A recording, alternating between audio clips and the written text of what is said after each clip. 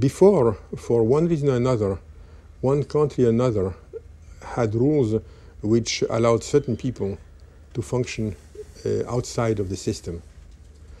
Uh, for example, uh, Britain, for a long time, uh, had a reflection of its uh, class structure, which was that people like, uh, well, J.B.S. Haldane, who was nephew of Lord Haldane, or Bertrand Russell, who became Lord Russell, could do what they pleased.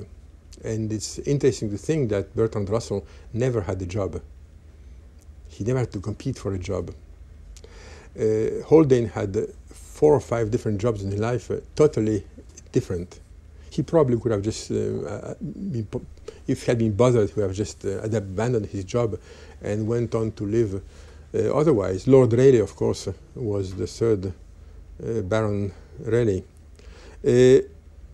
It's surprising how many of the great scientists of England in sort of late 19th century, early 20th, were in fact very high aristocrats. Of course, that's no longer uh, either possible or, or, do, or doable or done. In France was the case of De Broglie, uh, very much the same style. Uh, in America, even though it is much less known, uh, America had uh, a kind of uh, indigenous mathematics, not from the American Indians, of course, but from before before the refugees from Stalin and from Hitler. Uh, and that mathematics uh, uh, was carried on by several bona fide aristocrats.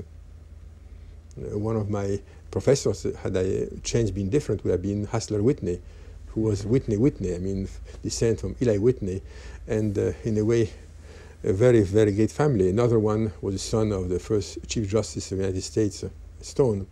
Uh, but um, this no longer exists.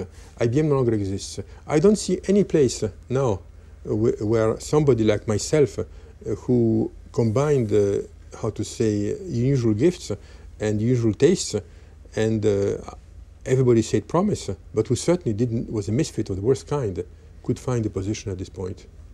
I think it's a tragedy.